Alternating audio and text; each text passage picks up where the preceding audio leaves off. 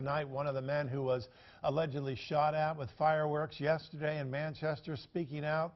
He and another worker were in the air painting a fourth-story apartment when they say a man across the street simply opened fire on them.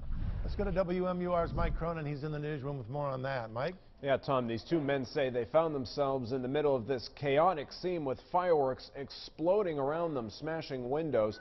The suspect's wife says he didn't mean it. First came the noise.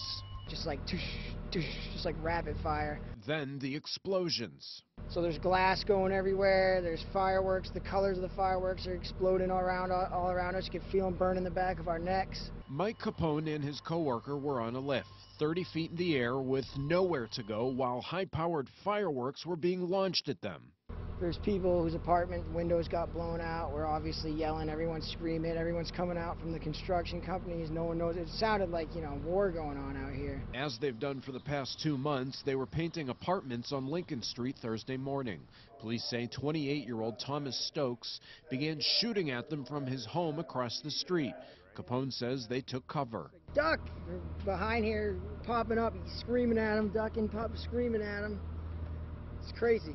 Stokes is charged with reckless conduct and two misdemeanors. Uh, I don't disagree with some of the things that were said, but what the court doesn't understand is that I'm permanently disabled. His wife, who didn't want her face on camera, says he hasn't been right since he was in an elevator accident several years ago. She doesn't think he was trying to hurt anyone.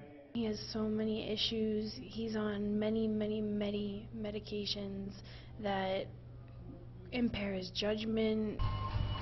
For Capone, it was business as usual Friday. He's thankful they weren't hurt. If it would have hit one of us, it would have been bad.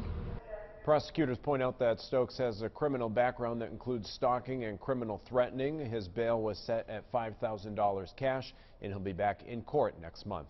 Live in the newsroom.